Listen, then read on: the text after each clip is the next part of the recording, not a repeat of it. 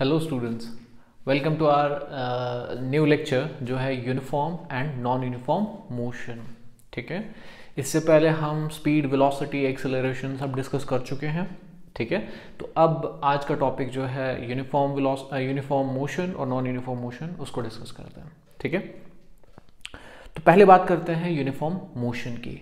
ठीक है? अब यूनिफॉर्म मोशन में हम क्या देखते हैं कि सपोज़ अगर एक बॉडी जो है इन ए पर्टिकुलर डायरेक्शन जा रही है एक स्ट्रेट लाइन में जा रही है सपोज़ ठीक है और अगर वो बॉडी हर एक इंटरवल में इक्वल डिस्टेंस कवर कर रही है राइट right? हर एक इंटरवल में इक्वल डिस्टेंस कवर कर रही है और वो एक पर्टिकुलर डायरेक्शन में जा रही है तो ऐसी बॉडी की मोशन को हम यूनिफॉर्म मोशन कहेंगे राइट right? या मैं अगर सिंपल वर्ड्स में कहूँ कि अगर उस बॉडी के पास एक यूनिफॉर्म वेलोसिटी है, ठीक है? तो हम कहेंगे कि वो बॉडी यूनिफॉर्म मोशन में है।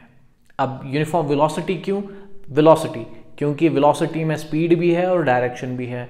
अब डायरेक्शन अगर सेम रहेगी और स्पीड भी चेंज नहीं होगी दैट मीन्स यूनिफॉर्म स्पीड है, यानी कि हर इंटरवल में वो इक्वल डिस्टेंस कवर कर रहा है राइट right? तो इसका मतलब उसके पास यूनिफॉर्म मोशन है। एक एग्ज़ाम्पल लेते हैं। सपोज़ एक बॉडी जो है सपोज़ uh, एक बॉडी जो है वो स्ट्रेट लाइन में चल रहा है। सपोज़ ये बॉडी अभी यहाँ पे है ठीक है? और हम एक इंटरवल ले रहे हैं सपोज़ फाइव सेकेंड्स का ठीक है?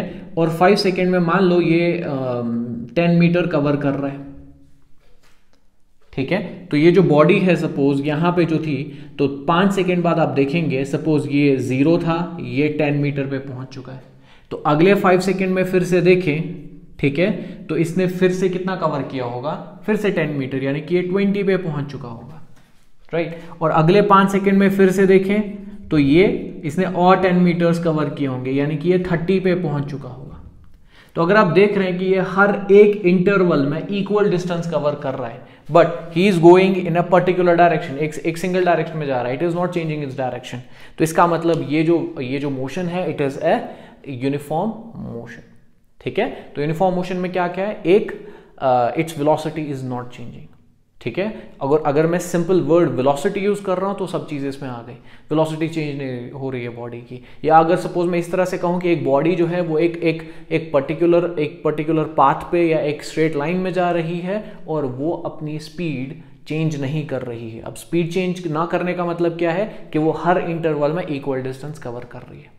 ठीक है? तो इसका मतलब कि अगर कोई बॉडी यूनिफॉर्म मोशन में है, उसमें एक्सेलरेशन एक्सेलरेशन नहीं होगी।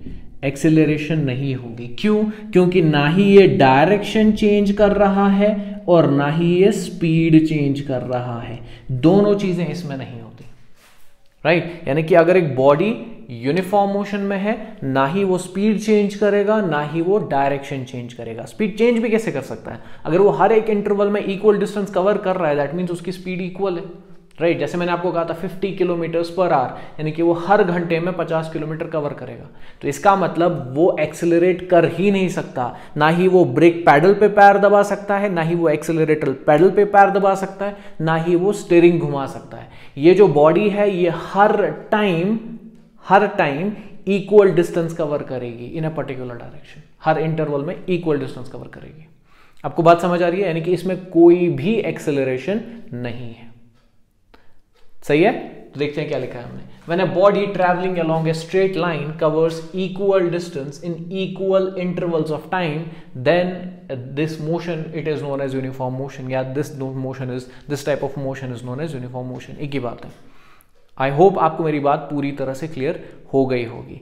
दो चीज़ें इसमें है। एक, हर इंटरवल में इक्वल डिस्टेंस कवर कर रहा है, यानी कि स्पीड चेंज नहीं हो रही है, और दूसरा इसकी डायरेक्शन भी चेंज नहीं हो रही है। अच्छा एक और एक छोटा सा एग्ज़ाम्पल दे रहा हूँ। मान लो ये जो बॉडी है, ये पाँच सेकेंड में जो है दस मीटर कवर कर रहा है। यानी कि अगर मैं पाँच सेकेंड बाद देखूँ तो ये यहाँ पहुँच गया होगा। Right right? और अगले पाँच सेकंड में ये फिर से दस मीटर कवर कर रहा है। तो आप ऐसा सोच सकते हो कि अगर ये वापस टेन से टेन से ज़ीरो पे आ गया तब भी यूनिफॉर्म मोशन है, नहीं, ये यूनिफॉर्म मोशन नहीं होगा। क्यों? क्योंकि इसने डायरेक्शन चेंज की। So a body if it is going along a straight line it can not come back ये वापस नहीं आएगा। ये डायरेक्शन चेंज नहीं कर सकता।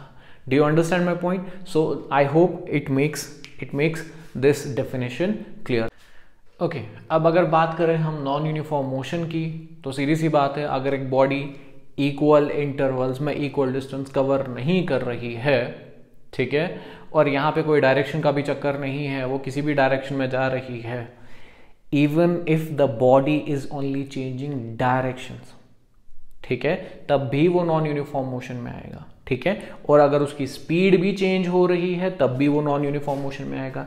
इसका मतलब कि अगर बॉडी क्या चेंज कर रही है? स्पीड और वो स्पीड का कैसे चेंज मतलब क्या मतलब इसका? अगर वो इक्वल इंटरवल्स में अनइक्वल डिस्टेंस कवर कर रही है, मान लो पहले फिफ्टी किलोमीटर्स पर आर एक घंटे में, दूसरे में सिक्सटी किलोमीटर्स पर आर तो हर इंटरवल में उसका जो डिस्टेंस कवर्ड है, वो डिफरेंट है। तो इसका मतलब उसका स्पीड चेंज हो रहा है। तो अगर स्पीड चेंज हो रही है, तब भी नॉन यूनिफॉर्म मोशन है।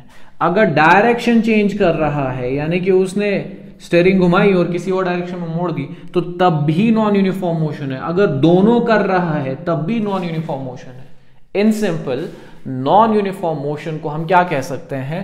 We can call it by another name जिसको हम कह सकते हैं accelerated accelerated motion right right? और एक्सेलरेटेड मोशंस के बारे में हम ऑलरेडी जान चुके हैं। लास्ट लेक्चर हमारा उसी के बारे में था। इसका मतलब उसकी स्पीड चेंज हो रही है या उसकी डायरेक्शन चेंज हो रही है। तो इसका मतलब उस बॉडी के अंदर एक्सेलरेशन है। Right right? यानी कि उसकी स्पीड जो बढ़ रही है या घट रही है, जो भी हो रहा। तो दैट मीन्स एक्सेलरेशन आ रही है इस बॉडी में। ठीक है?